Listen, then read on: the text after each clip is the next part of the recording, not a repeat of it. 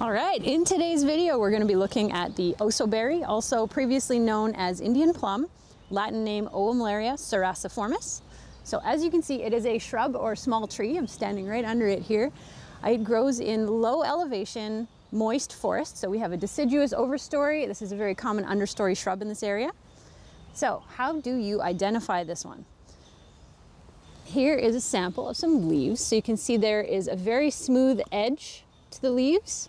They have a protruding mid vein, if you can see that right at the end, that little point, right there. Uh, the leafing pattern is alternate.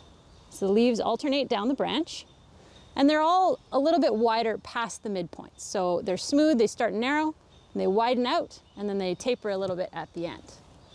You can also see much darker on the top, lighter on the bottom. Now, this plant is one of the first to leaf out in the spring, but even before it leaves out or just as the leaves are coming out, you're gonna see these little white, almost greenish flowers, and they kind of look like a little shooting star coming up out of the plant.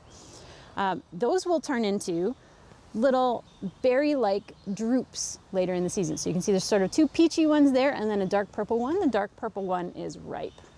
So these will be all throughout the plant. They're not just at one spot, they're all the way around.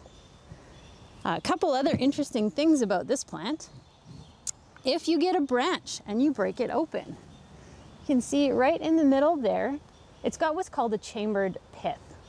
The pith there is the innermost part of the branch. You can see it's kind of like a ladder, all broken up into little chambers. That's a distinctive feature of the osoberry.